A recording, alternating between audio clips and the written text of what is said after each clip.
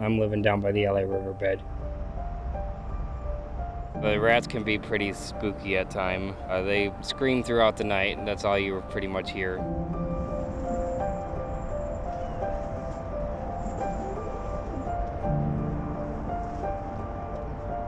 Started doing heroin, cocaine, and meth, and ended up on the streets at the age of 13.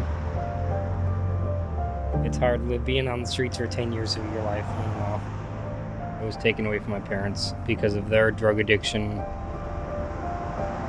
I was born in Madison, Wisconsin, and just started traveling to the country and landed myself here in California.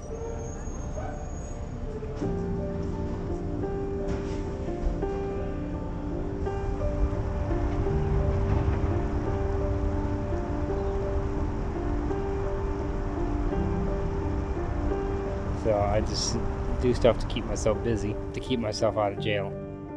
Whatever I need to do as long as I'm not out on the streets hurting somebody. My calendar is full.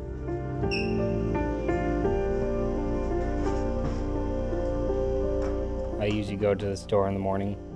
They usually provide me with the money. If not, I go use my food stamps and they reimburse me. Come back here, prepare. I went into culinary arts because it was it's a stress reliever for me and it just helps me. So I can go in there and cook all day.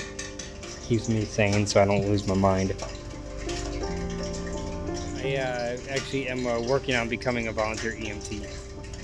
Helping out with cooking, going to the fire department, doing classes. That's what keeps me going.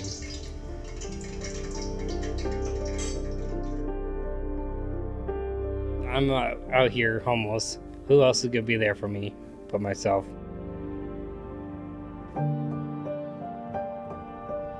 When it floods, we have to go somewhere else. I have my to-go tent, which is like my emergency kit, a spare tent.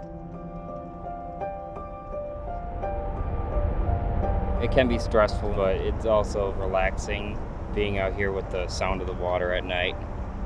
It's all you really hear besides the traffic on the freeway up there.